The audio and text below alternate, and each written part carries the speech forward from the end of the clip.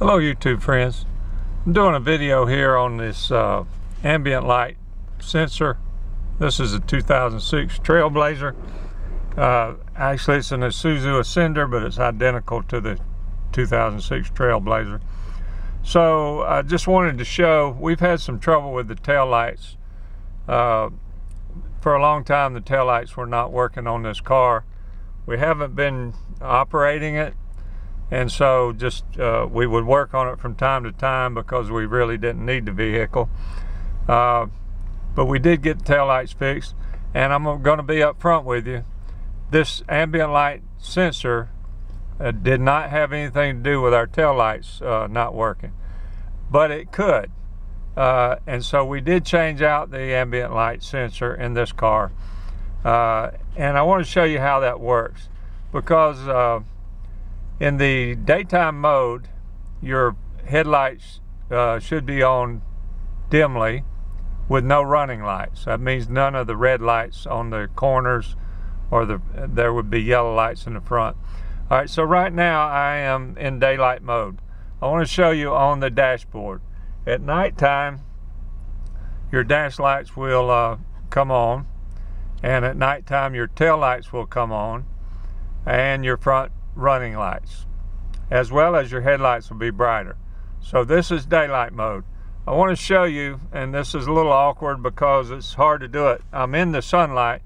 I'm going to simulate putting this black cover over the uh, ambient light sensor, which is right up here. So I'm going to cover that up, and in 15 seconds, my dash lights will come on and you'll see them. They look like they're on now, but they're not. Uh, you'll see the dash lights come on in 16 seconds. And you'll notice that by the, uh, right there they went, the little uh, orange, you'll see the white gets brighter and the little orange part here gets much brighter. You can see it's like a reflection of, of the dash lights. So that's the, that's the dash lights on. Okay, so I'm going to remove that and in 15 seconds it should go back. Now sometimes if there's shadows involved uh, or you're in a tunnel or you're under a carport, uh, it'll register nighttime even though it's in the daytime. Uh, but that's okay. All right, so my lights went back out. I'm not even sure you can even pick that up.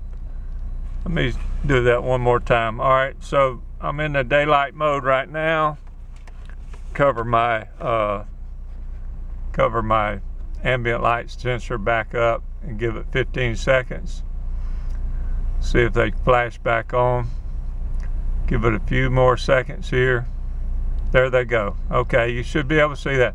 Now I want to show you why we were looking at tail lights. I'm in nighttime mode now.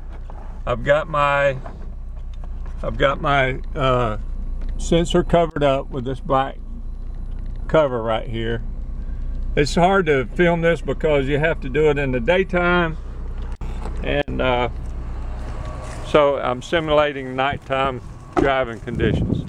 So my tail lights are on now because I'm in nighttime nighttime mode. You can see, uh, hopefully you can see that tail light. It's very bright sunlight out here so it's hard to see. But that tail light's on, so we're, like I say, we're in nighttime mode because we have our sensor covered up. Let's see if we can tell at the front. So I'm not sure you can see it, but the front running lights are on. Those are the amber colored lights. And of course the headlights are at regular, uh, at the regular nighttime uh, uh, brightness. Let me show you, uh, we'll pull that out.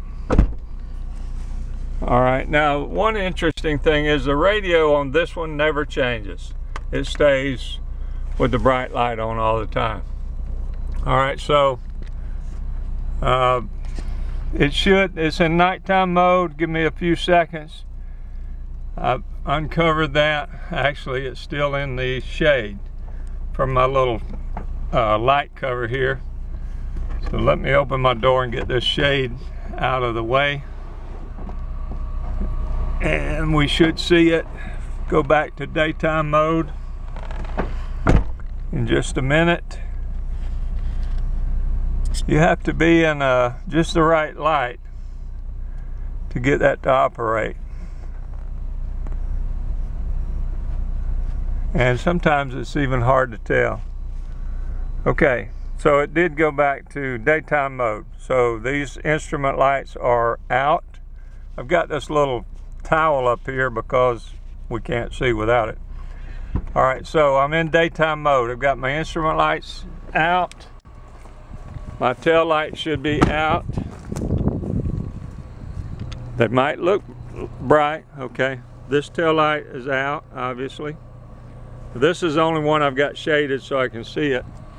Now my running lights, which is these lights here, they're out. Now my headlights are off. My understanding is when you put it in park in the daytime, now this looks like it's lit up, but it's not. That's just reflection of the sun. Okay, so I want to try one thing. I want to put it in drive. So I'm going to lock my brake real good, put it in drive, and see if those uh, daytime running lights come on. I've been told that they do. Okay, yes, they do.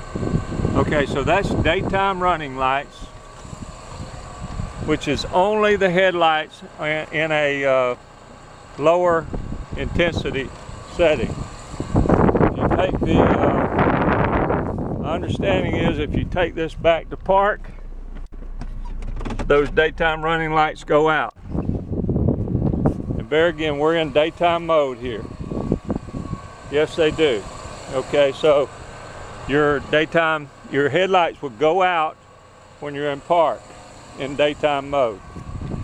So they will come on in a uh, lower intensity in the daytime mode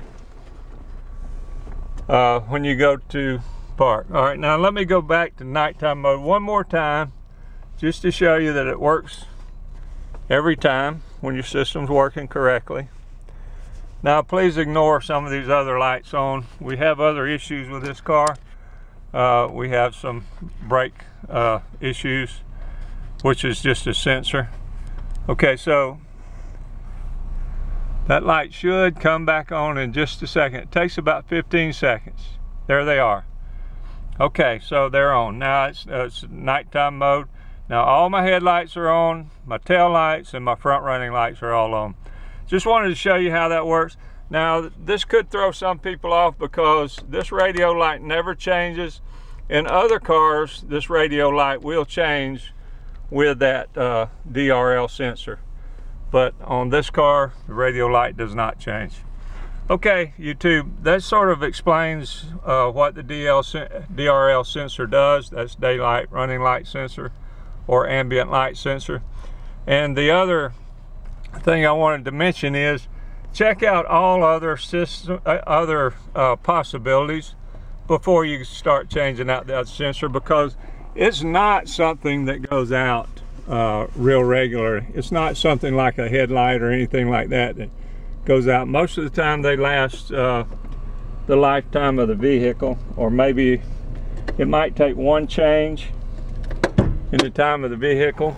There are fuses to check there are a lot of other things that can be checked. This is only on how this operates was what this uh, video is about. Okay, YouTube, thanks for watching our videos. Like and subscribe, and have a great day.